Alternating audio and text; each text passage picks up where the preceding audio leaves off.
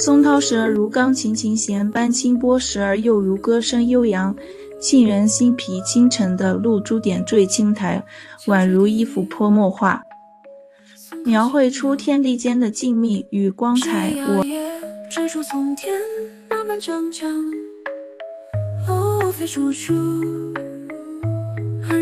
我曾试图用这份诗意来填满我的心，甚至爬上了一棵粗壮的古树，像个童年冒险的孩子一样。那天树上的世界宛若独立于尘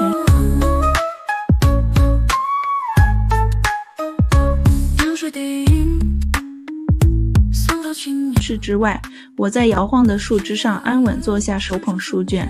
手捧书卷，仿佛一切烦恼都被风吹散，树叶间的光斑在树叶上跳跃，时光似乎也变得缓慢起来。然而，就在这一片祥和中，意外却不期而至，一只毛茸茸的八角怪悄无声息地降临到了我的书页上。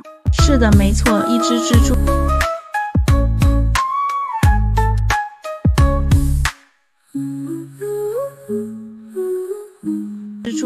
他。突然出现在我视线中，吓得我失去了冷静，尖叫一声，反手就把书抛出了树梢。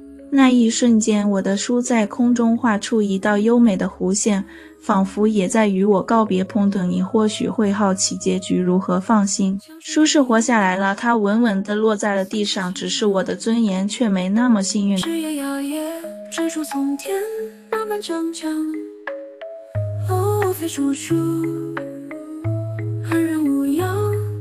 或许可以为你的书准备一个小小的降落伞，未雨绸缪吗？正是这山水变幻的意外之美，才让人生妙趣横生。